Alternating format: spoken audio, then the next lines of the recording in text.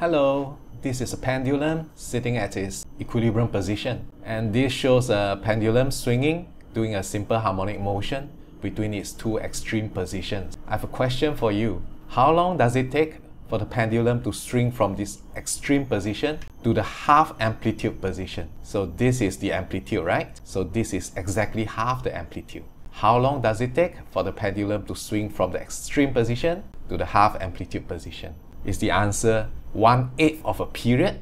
Does it take one eighth of a period for it to go from here to here?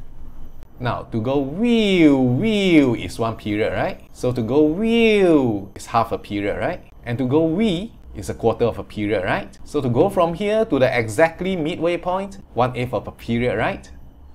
Wrong, haha, gotcha. This graph should illustrate why. So to go from the extreme position to the other extreme and back to the same uh, original position is one period. To go from the extreme position to the other extreme position is half a period. To go from the extreme position to the equilibrium position is a quarter of a period.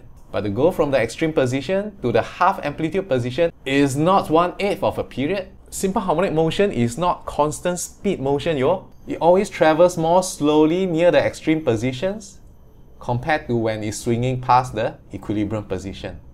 And that's why it takes more than one eighth of a period to go from extreme position to the half amplitude position, and it takes less than one eighth of a period to go from the half amplitude position to the equilibrium position. So if it's not one eighth, what exactly is this?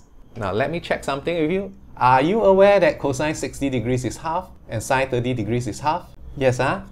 You need to have these numbers in your head huh, to understand the rest of the video. So let's talk about a simple sinusoidal function y is equal to sine x, which uh, swings between negative 1 and 1 and has 360 degrees for one cycle. From here to here is 60 degrees. Why? Cosine 60 degrees is half, you know. So if this is 60 degrees, then this must be 30 degrees because 90 minus 30, yeah? So we can figure out, oh, this is 60 degrees, this is 30 degrees, this is 30, 60, 60, 30, 30, and 60.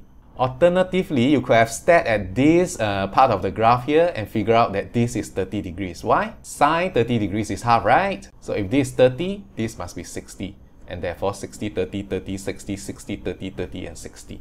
Now let's go back to our simple harmonic motion which swings between negative x naught and x naught and where we have one period for one cycle. So can you see now that to go from the extreme position to the half amplitude position is actually 60 degrees out of 360 degrees of one period. So that's one sixth of a period. Whereas to go from the half amplitude position to the equilibrium position takes 30 degrees out of 360 degrees of one period, which means 1 12th of a period. So to go from here to here is 1 6th of a period. To go from here to here is 1 12th of a period. 1 12, 1 6, 1 6, 1 12, 1 12, and 1 6. Ah, the answer is not 1 8th of a period because SHM is not constant speed motion, yeah? SHM has a very sexy curve. Alright, that's all. Ta-ta!